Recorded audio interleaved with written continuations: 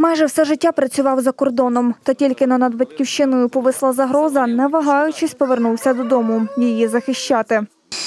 Я попав е, на фронт, то вже начало березня. Морози там були страшні. 17-20 градусів.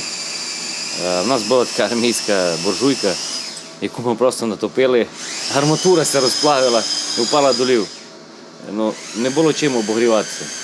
Реально. І то мені дуже запам'яталося, бо ми дуже перемерзли. Страшно.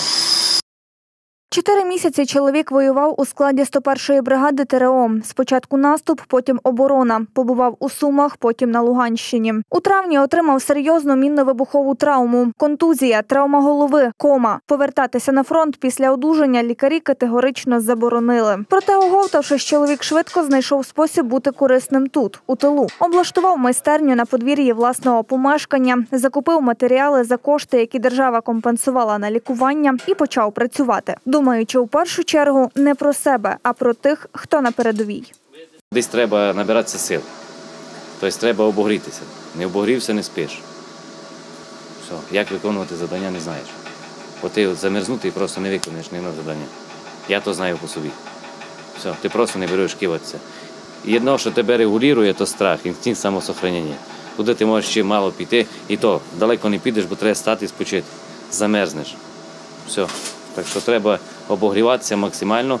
І туди ти можеш і киватися нормально, і не хворієш, і нормально можеш робити свою роботу. Електрозварювання для Володимира не нове заняття. І хоча до цього він не мав навиків у виготовленні буржуйок, проте бажання поділитися теплом допомогло йому самостійно розробити особливу конструкцію для своїх пічок. Коли ти робиш у строїтельному е, сфері строїтельній, там завжди ти стикаєшся з сварками, з різними роботами. Е. І схема то була дуже проста.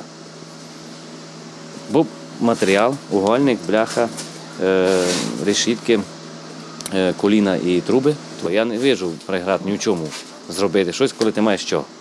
Оце сама проблема, що із матеріалом проблема. Першу партію металу чоловік закупив самостійно. Потім на допомогу прийшли волонтери. Благодаря волонтерам, школа наша е, Верхньокоропецька, де я вчився, діти скинулися 17 тисяч, 17 800 дали на, на матеріал. Діти скинулися, учителя організували і дали. Буржуйки виготовляють різного розміру та форми. Зазвичай за бажанням самих військових. Матеріал використовують економно, відміряють і уважно розрізають без відходів. Угольник п'ятерку, може, тройку угольник, бляху, четверку, тройку можуть вести. В принципі, все, що є до, до, до, от іменно до буржуйки, то, то угольник саме більше, е, що, що має треба, і бляху. Все остальне я достану, не є проблем. Просто тут як купуєте рішітки, я то купую. Так вже був, ну, хоча б таким бляхом, бо когось вдома навіть валяється просто, ну реально валяється.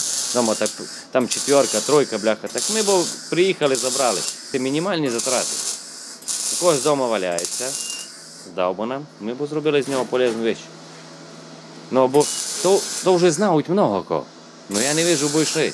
Тут і селові троє чоловік е, це согласили щось е, помочити. Останні навіть такого, якби і не було нічого. Приблизна вартість однієї такої саморобної буржуйки майже 6 тисяч гривень. У бліндажі вона може підтримувати тепло протягом всієї ночі. Крім цього, на ній можна підсушити одяг та приготувати їжу. Ми, якщо станемо двоє, так ми одну робимо сміло за день, а далі нарізаємо і навіть можемо ще два корпуси зварити. Типа просто корпуса без дверей, без нічого.